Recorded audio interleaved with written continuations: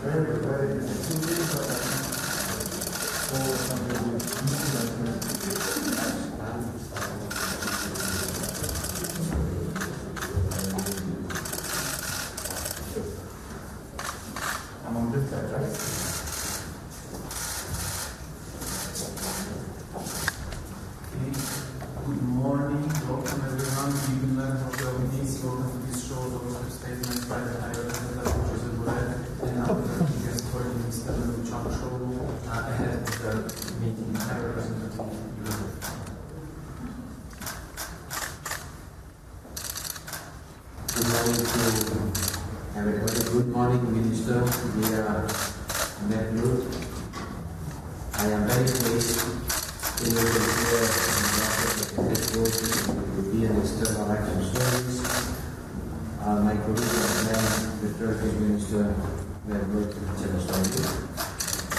We will spend some time taking stock of the relations between the European Union and Turkey and we will discuss the way forward for these relations. The last year has been a complicated year for these relations.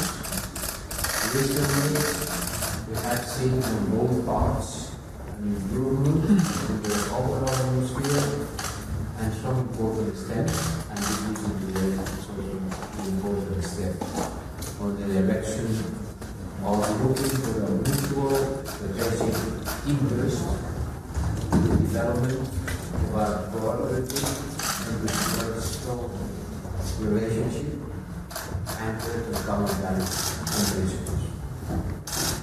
Another good step is the announced resumption of federal exploratory talks between Turkey and Greece, such as maintained intentions and announcement need to be translated into actions. Another important step is the efforts of the United Nations Secretary General Guterres for the Cyprus settlement talks on the United Nations issues. We are fully committed to support a speedy resumption of those negotiations. We strongly wish to see a sustainable de-escalation in the eastern Mediterranean, but in the wider region also. And I that we should engage more in a substantive dialogue to strengthen the importance of the political processes related to regional conflicts, be it in Libya, in Syria, or Nagorno Karabakh. We'll talk also for sure about, uh, with full respect for each other and frankly in healthy way, the political situation in Turkey and the prospects of the adhesion.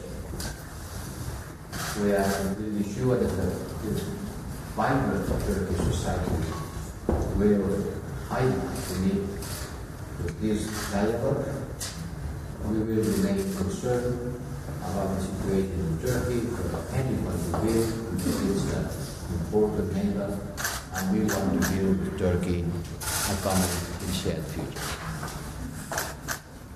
Çok teşekkür ediyorum. Bugün yüksek temsilci e, Borel, değerli dostum e, Joseph'in daveti üzerine Brüksel'de bulunmaktan mutluluk duyuyorum.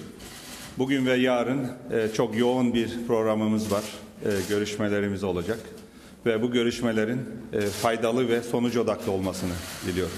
2020 yılı Türkiye-AB ilişkileri bakımından sorunlu bir yıl oldu. Aralık zirvesi ve e, Aralık zirvesi sonuçları ya da ortak açıklamasından sonra e, daha pozitif bir atmosfer e, yaratmak için her iki taraftan da e, siyasi irade ortaya çıktı. E, ayrıca e, ilişkilerin e, daha sağlıklı gelişmesi bakımından da e, karşılıklı olumlu açıklamalar oldu ve e, daha iyi bir diyalog imkanı sağladık ve o nedenle de bugün e, Brüksel'deyim. Sayın Cumhurbaşkanımız Recep Tayyip Erdoğan, Konsey Başkanı Michel ve Komisyon Başkanı e, Ursula von der Leyen'i Türkiye'ye davet ettiler. ve bugün dostum Joseph'le birlikte bu e, olası ziyaretin de hazırlıklarını e, e, başlatmış e, olacağız. Türkiye-AB ilişkilerinde pozitif bir atmosferin yaratılması elbette önemli. Ama bunun sürdürülebilir olabilmesi için somut adımlar atmamız gerekiyor. Ve bugün Sayın Josep Borrell'le daha önce başlattığımız süreçlerin takibini yapacağız. Göç mutabakatının güncellenmesi konusunda biz teklifimizi ilettik, iletmiştik. Bunun detaylarını görüşeceğiz. E, ayrıca e, Doğu Akdeniz'de çok taraflı bir konferans önerimiz olmuştu. Bu konferansla ilgili atabileceğimiz adımları da e, konuşacağız. Diğer taraftan e, vize serbestisi, e, yine Gümrük Birliği Anlaşması'nın e, güncellenmesi dahil e, önümüzdeki süreçte atabileceğimiz e, somut adımları da değerlendireceğiz. Bugün ve yarın gerçekleştireceğimiz görüşmelerde Türkiye olarak beklentilerimizi net bir şekilde muhataplarımıza aktaracağız.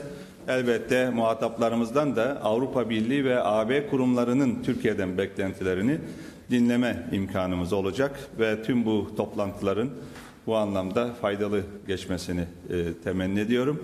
Diğer taraftan Türkiye e, Avrupa Birliği ilişkileri sadece iki taraf için önemli değil. Bölgemizde devam eden ciddi sorunlar var. Bu sorunlara ortak çözüm bulma bakımından da Türkiye Avrupa Birliği işbirliği e, önem arz etmektedir. Çok teşekkür ediyorum. Thank you very much. Thank you.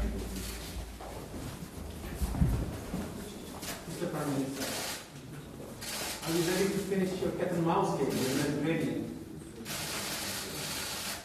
Is there any prime minister in Turkey? We have the presidential system.